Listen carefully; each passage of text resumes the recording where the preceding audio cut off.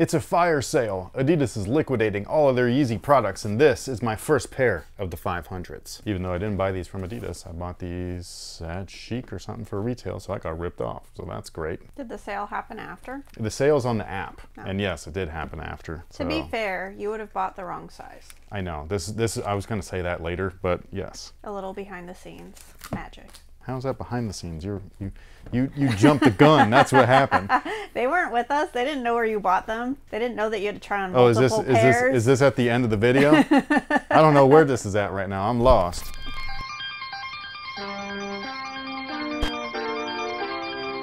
Hey, what's going on guys? My name's Chris. Welcome back to the official WearTesters.com YouTube channel. Today we had a detailed look and breakdown. Yes, a little late. A few years late, actually. This is the Adidas Yeezy 500. Ooh. But before we deep dive into these guys, real quick, we do have a quick word from today's sponsor, Sole Premise, and just in case you're unaware of what Sole Premise actually is, they provide premium or luxury style bags, but the catch is, is that they are all catering towards sneaker lovers. They have a wide variety of different options and different materials and different colors. So as an example, this guy right here is just their daily commuter bag. This is essentially just a regular backpack, but the difference is that they can hold two pairs of shoes in there up to size 15. Excellent. I personally love these bags because when I go on short trips, I'm able to wear one pair and then stick a secondary pair inside of the shoe storage. And then instead of opting to throw in a third pair of sneakers, that's where I actually put my clothes. And then when I'm going on longer trips, this bag right here is what I typically like to use. It holds up to five pairs of shoes. On top of all of that, these bags are TSA approved. They can fit underneath the seats or in your overhead compartment. This particular one is made out of polyester instead of a more premium leather, so there's different options and varieties depending on what you want. Last but not least, this is my favorite bag and the one that I use all the time, mostly because, well, we're gym rats here, and I also test shoes for a living, and this bag right here lets me do all of that stuff all at once. This is a brand new version of their gym bag, where this one is decked out in premium goodness, and I'm not gonna bring this one with me because I don't wanna ruin it and get it all wet and sweaty. So instead I bring this one, but the good news is, is that they both fit four pairs of sneakers, which is amazing. If you have your testing shoe, then your backup shoe, and then maybe there's a backup for the backup, and by chance, maybe a backup for that, I don't know. What I like to do is fill it up with three pairs, and then my leftover compartment has my change of clothes, deodorant, my water bottles, a basketball pump, and then for my AirPods and whatever else I might be bringing, there's a ton of storage options for that too. So for whatever your needs are, Sole Premise's probably got you covered. So if you're interested, make sure that you click the link down below in our description box. It'll send you over to Sole Premise's website, solepremise.com, where you can check out all the variety of different options, all the different colors, what's on sale, all that kind of good stuff. And with that being said, these are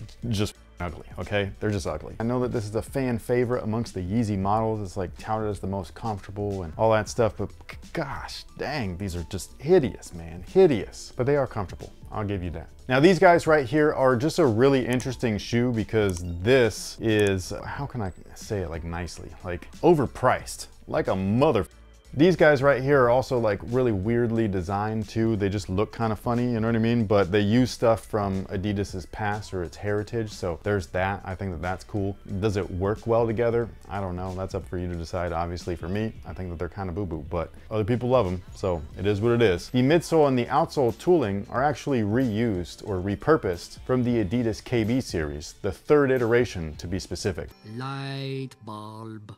Now moving on up, we have an Adiprene midsole. At the time, this was like the most comfortable version of Feet You Wear that they had done when it first released with the KB3, and I still think it might be the most comfortable version, period. Unless you consider the boost stuff, like the Feet You Wear with the boost, that's crazy. But anyways, it's an Adiprene midsole, so basically it's like a, a variation of EVA. It is very comfortable. Is it super comfortable, like boost comfortable? Not quite there, but I feel like it's more of a neutral comfort, which I prefer. So the older that I've gotten, the less cushion that I need in my shoes. Like if anything, I don't want really much of anything in there. Casually, performance-wise, I want something in there, but casually, just, you know, give me the basics. And while this isn't quite basic, it's close enough, and I think that it's very nice underfoot. And if you were curious about the insole, it's actually this guy right here. This is a prime example of an ortholite that's not a piece of this is awesome. So you got different variations of their foam. You've got different densities and it's in strategic zones. So you've got a stability feature, which is the exterior. Then you've got the softer pieces, which are in the interior, minus the red, which is even firmer than the exterior so that you have some arch support and things like that. So this is a great example of a solid insole that comes with the shoe. Hey, Look at us. Look at us. Huh? Who would have thought? Not me. Now moving on up, the upper is really interesting because that's the part that I think is ugly. This upper, I just don't know. I don't know, man. Like they look weird. I've seen these for so long. I see so many people wear them on a daily basis. And every time I'm like, wow, they're funky. Am I wrong? No, you're not wrong. Am I wrong? You're not wrong, Walter. You're just an a- But as far as the materials go objectively, super nice materials, man. The main body is just an open-celled mesh, so it's lightweight, it's breathable, it breaks in quickly. So all of those things I think is a huge plus, especially from a wearability factor, which is what I think that this model really is, is overall wearability is really high up there despite how funky they look. So I think that that might be its like best selling features. They've got solid traction, very comfortable midsole, very comfortable upper. The materials on top of that, like the overlays, are all really nice. So this particular one is all suede. And so in that sense, like I feel like this is one of the better Yeezys, but I don't think that's like my favorite Yeezy as far as visuals go. But yeah, I really like what they've done. So you've got that open celled mesh on top of that, like the little webbing stuff that you can see under the mid layer. That's all actual leather, very nice leather on top of that. And then on top of that, the overlays, like I was saying, they're suede, varying depending on the colorway, but for this one, it's all suede. I love it, dude. Like this is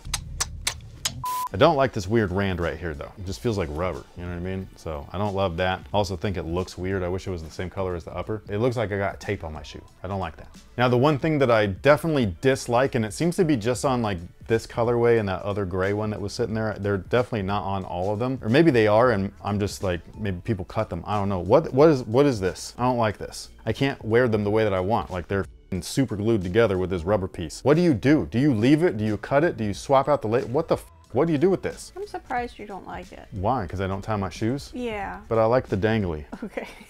That's what I like. I like the dangly piece. I like having the thing just droop over and it's just bunny ears, whatever you want to call them. Like, I like that. I don't like this. Why, why is it like that? Now, as far as fit is concerned, this is where I'm glad that I bought them in store and got ripped off a little bit because otherwise I would have just ripped myself off by buying them on sale and not being able to wear them because they fit hella small. Like even this size, this is a half a size up, I could probably have gone to a 10. And I never say that, ever. So yeah, this is one of those shoes where if possible, try them on, but definitely go up half a size minimum. If you have a wide foot, you might wanna go up a full size because they're tight as shit. And I'm not even gonna say this the laces because I did try to lace, unlace them as much as I could. And uh, they're just snug and they're short. I did not like that whatsoever. It was a shock. I was like sweating trying to get my foot in there. That was from a different conversation from a previous video. But with all that being said, do we happen to have time for a question of the day? Please make it good. It's a behind the scenes one. Oh, okay. An I like actual. those. I like those. How do you store all the footage to bring up later? It seems like there's so much footage and you can always pull it up. What do you mean? So I'm gonna butt in and say that the easiest way for us to get exactly like the best clips that we have obviously used before is for me to just go in through the back end and re-download the finalized video that we initially used. Because we already, yes, we already know like the colors right, the angles right. Like this was the best image that we wanted to put out originally, and so we're just gonna go and snag that. And to do that, you just re-download like the 10 minute video and Right. pull the piece that you want. Yeah, and then sometimes you'll see us just throw on a uh, thumbnail, just letting you know that like that's where we talked about whatever we're talking about. Yeah. But if it's a visual, like we just did this with like the Currys, the Curry 12, Mm-hmm. where like the support features were similar to the previous model, and we had that stuff shown in one of our episodes of the podcast, and so I wanted that clip, so I downloaded it real quick, snipped it up, put it in there, and that was it. It definitely cuts down the time in which we would have to go search for the backup and stuff like that, so I dig that, and yeah, it just works out. But with all of that being said, sound off below and let us know what you think about the Yeezy 500. Is this your favorite model? If it is, why? Is it for the comfort? Is it for the looks? Or maybe you're in my camp where it's like, they're butt ass ugly, but they are really comfortable. They are well built as far as materials and, you know, the quality and stuff like that. So like the overall awkwardness of the, the visuals you can get past, you know what I mean? So sound off below and let us know. On top of all of that, are you still a fan of the Yeezy product? Or were you one of those people where it's just like only when he was on board were you cool and then now it's like, meh, whatever.